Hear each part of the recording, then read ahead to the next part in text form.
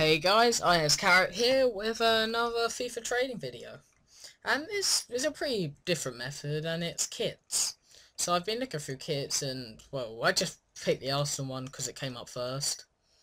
And if you look at the kits, you can see that there's so many of the, uh, what's it called, classic kit and the third kit. Like, because they're both really cheap. And then these other kits are more expensive.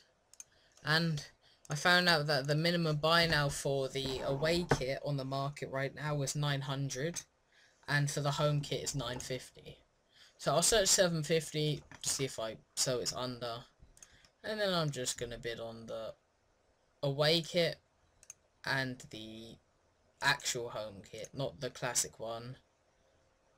I'll try and find one quickly. Where is that? Yeah away kit where's the actual home kit?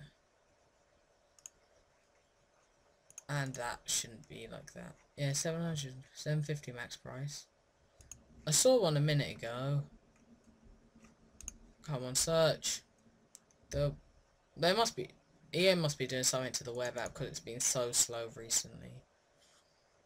Like, when it comes up with no search found and stuff. It's just quite frustrating. They should, like, fix it and hopefully well, it's probably because they're fixing next gen.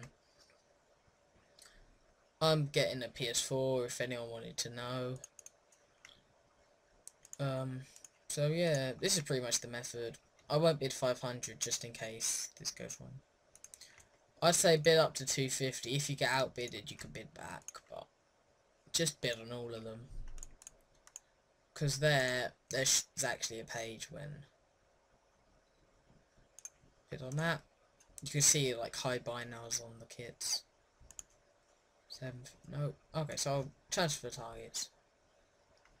So you see I won this, and I'll list it for a uh, 750 buy now. So I'll go 700 buy now, just to put it under the prices already on the market. And oh, I just got happy. I thought I sold it straight away for a minute. I'll just let that guy win it.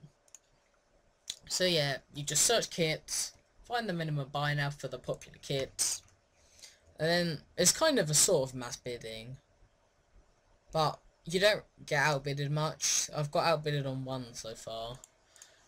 So it's a pretty good method. You can see that kit's already sold. That was a quick 300 coin profit. Guys, I would advise you to do this trading method. It is very good. So get buying those kits and making a load of coins. And I'll see you guys on my next video.